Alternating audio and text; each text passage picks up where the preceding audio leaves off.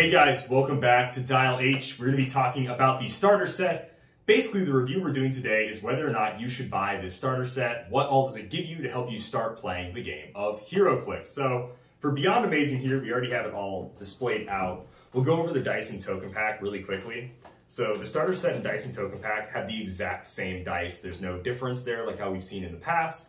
So that's not really a make or break. And then in the token pack, as you can see, it has several of the main set tokens for Mysterio, for Spider-Man Noir, and then for Peni Parker. So that'd be a rare Mysterios, super rare Spider-Man Noir, and then super rare Spy, uh, SP slash slash DR for Penny. So that's what the Dice Token Pack gets you. They both run the same scheme of red and blue Spider-Man right. kind of colors. But um, yeah, yeah, artwork is, I mean, hit or miss. It, it's neat. It just it's depends little, on what you like. It's a little cartoonier, I would say, yeah. less uh, realism, a little more cartoony. It reminds me of the Spider-Man, like Disney XD cartoon. Yes. The like, yeah, the Ultimate Spider-Man or whatever that was called. That's the vibe it's giving me, anyways. So to me, the highlight of this is all of the special terrain markers. Yeah. Simeon, do you have a special terrain? Yeah. A um, favorite special terrain? I mean, obviously for me, it was one of the ones that was first previewed. It's the shipping container that yeah. doubles as elevated. Not only is it one of the largest that we've seen, it's also one that uh, I quickly managed to like 3D print so I can have right. uh, a stand-in if I want. Because I think putting like physical elevated terrain is pretty cool on the map. And also, I mean, it's dealing the same damage that like a heavy object would, plus it gives you giant reach of three or a range of four if you don't have any range. Uh, it takes four damage to destroy, so it's not yeah. easily destroyed either. Um, I think that one's just kind of neat, and it's like something I can see. I can see the Hulk or like even Spider-Man right. picking it up, up and smashing somebody. container. Yeah.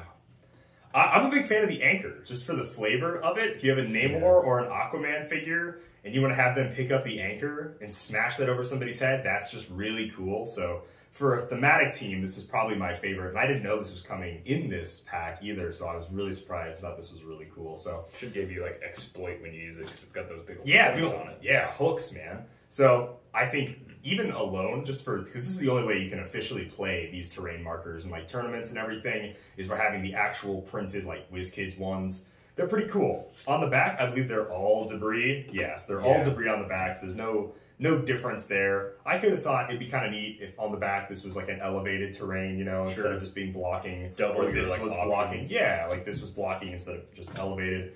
I think that would have been kind of cool. But I think for the first run at making special terrain, this is pretty solid. It gets a lot of special terrain markers. You have one, two, three, four, five, six, seven, eight, nine. You get nine special terrain markers just right away from buying this. So that's really cool.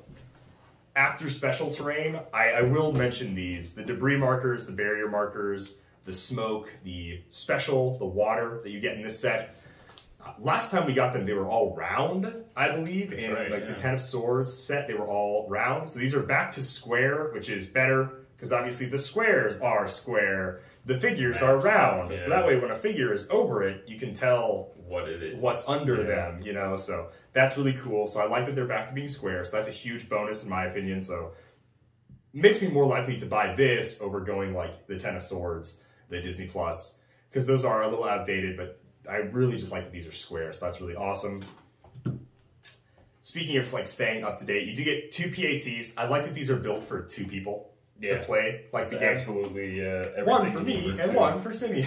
yeah, uh, yeah. There's not only two PACs, but all the scenario cards that come mm. with it um, yeah. have a two-player scenario. You could obviously play with one, but it's yeah. more geared towards two. And they included a loot dynamic that actually makes like ongoing scenario play more interesting, which is cool.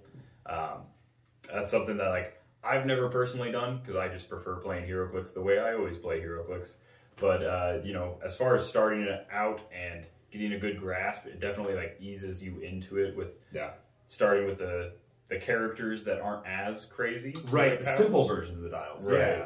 The just the just standard power versions of the dials. Yeah. And then you can boost them as you go. But yeah. And then you uh, obviously get the uh, good old current rule book. current rule book, which also has a PAC on the back as well, which is yeah. kind of neat. Yeah, so. they print a PAC on the last couple pages. Same with, I believe, the comprehensive also did that. Oh, did um, and if okay. you're looking at getting a starter and you're ready to jump into the comprehensive rules, you can obviously go to the WizKids rules site and download that PDF. It's like 70 pages. It is a lot. I lot do like it in PDF form though because you can search certain Cool. keywords that you're looking Type for. page. Yeah. Yeah. So that's that's why I like that one online. I don't think we necessarily need a 70 page one, but this will get you started at least. I wouldn't mind having a physical copy of the 70 page one, but I think Yeah. for this, just getting started, learning the basics, movement, attacking, what all the symbols do, I think that's good for a new player, Definitely. for the basics for hero HeroClix. So the map is another big thing, the map tiles. We are getting two less map tiles with this since the map change is going to be a little bit smaller. However, it is just reprints of both play at home kits. So both play at home kits have the flip sides of these maps, but neither of them are on the same flip side. So I believe one play at home kit has a different map, and then like the Sandman construction area. Then the other play at home kit has a different map than like Oscorp Tower or like the, The Daily Bugle, Bugle, like room. yeah. So this is the only way to get those two maps specifically on the flip side of each other. So if you want to carry less around during a tournament, if you want to use those two specific maps, you can guess, I guess, have those, Right. even though they're, I guess, heavier. But it's kind of cool. That's just one way to make them slightly different. So you didn't have to just buy one play at home kit to totally negate these maps. But that's kind of what you get. You also, oh yeah, I can't forget these bystanders. This is the only way to get the official Ock Arm bystanders for WizKids yeah. if, if you're not making your own or doing anything like that. So the only way to get the official Ock Arm bystanders for the Super Dr. Octopus is here. And then one of my favorite things is Thug from Superior Foes of Spider-Man It's returns yeah. as the henchman in these, which is really cool. And he gets sidestepped this time, and like a better defense, and I Yeah. think think attack probably too. I, I think he had a nine attack, a shorter range, but shorter range, yeah, Yeah. three. But it's cool to see Thug back. I'm a big fan of Thug when they originally made him, so it's just cool seeing that sculpt back, even though he's a henchman this time.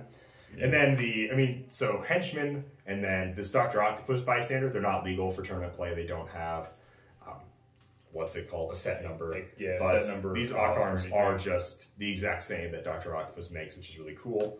But this Doctor Octopus is also just neat that it's a bystander for home games or, of course, for the scenario. So these bystanders are pretty cool, but if you do want a complete set of main set bystanders, you will have to buy the Dice and Token Pack and this for WizKids official Doctor Octopus Ock Arm bystanders.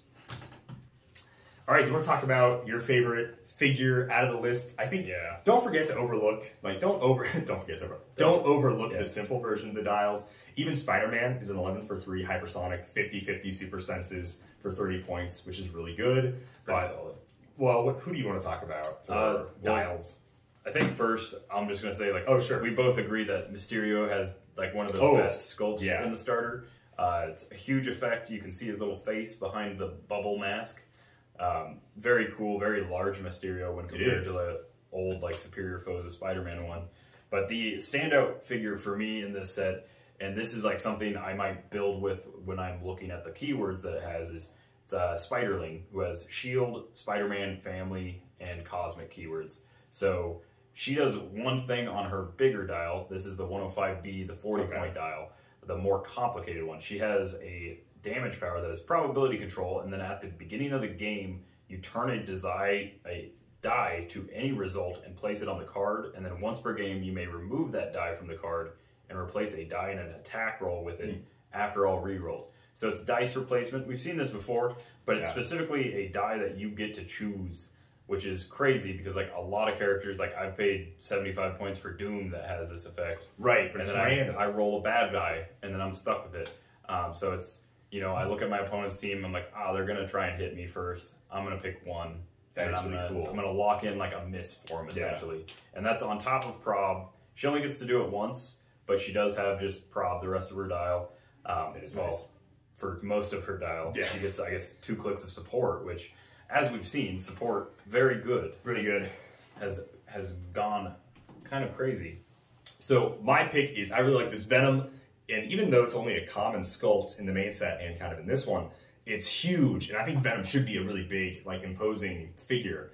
Uh, Venom's not like a crazy complicated dial. I just think this is a really unique take on him with the starting plasticity, impervious, shape change, and poison. Feels very venomy to me. And then he has steel energy the rest of his dial, and he gets some late dial charge and battle fury. Like he's really hungry for brains and stuff. So it's really cool. He gets a special defense power, which is like toughness, super senses, and then when he uses it during a close attack, you can, and he succeeds, you can deal the attacker one damage or you can heal him one click. He's taking a little bite or a swipe out of somebody. So I really like this Venom. It's really, it's really unique. It's really different versus just making him like a charge piece right away.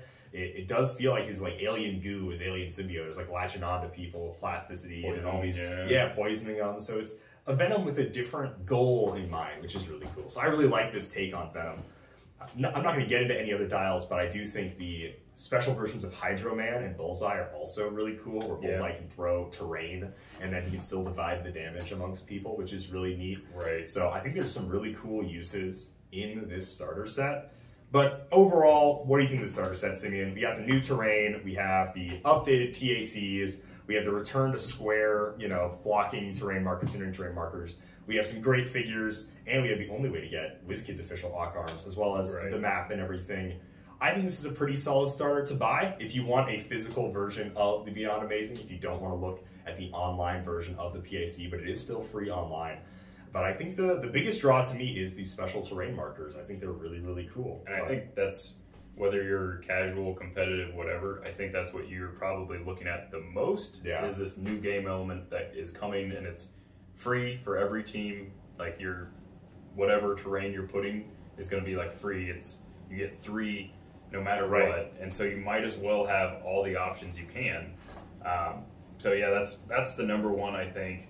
Uh, the number two is definitely having two PACs. So I have one for me. I have one for my buddy that I'm going to teach, or you know whoever. Uh, just having a backup in case. That's probably the second best thing. And I do Yeah. really like a physical PAC. Um, it sucks looking at my phone trying to like scroll down Oh, and let it load. Yeah. So obviously having one of these in like my clicks box is just super easy. That's what I normally do anyhow. I actually printed some of these out. Oh, that's right. Yeah, you did. but they were formatted tiny, wrong. So they, so I, yeah, these are much appreciated. And then yeah, if you don't already have like barrier tokens and stuff like that, that's something that's constantly coming up with figures, and so you need that. Um, and then obviously, if you're not buying heavily into the set, this gives you a great selection Yeah. of like villains and uh, you know good guys, yeah. heroes. Yeah. So I think it's a pretty solid starter. I think so too. Yeah. Well, we pieced it out, guys. We've kind of laid out everything before you. We kind of gave our gave our two cents on it. So let us know in the comment section below. Are you going to be buying this starter set? What do you think of the Beyond Amazing starter? Like, comment, and subscribe to stay tuned for the latest Dial H videos. And like always, happy trails.